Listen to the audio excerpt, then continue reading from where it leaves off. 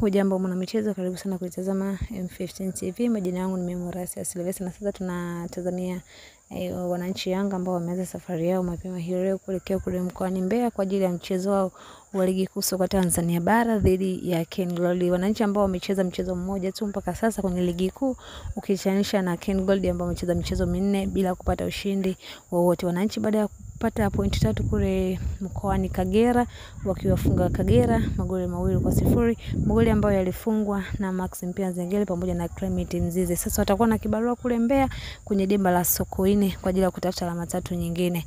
E, wananchi wameanza safari yao wakitokea Dar es Salaam kuelekea kule mkoani Mbeya na mapema kabisa wameweza kufika mkoani Mbeya.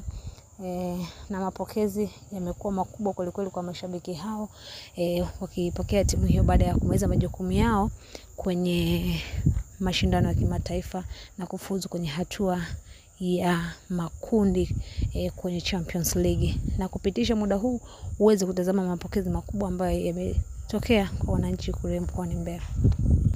Kwa taarifa mbalimbali za kimichezo endelea kuifuatilia M15 TV. Kanasi.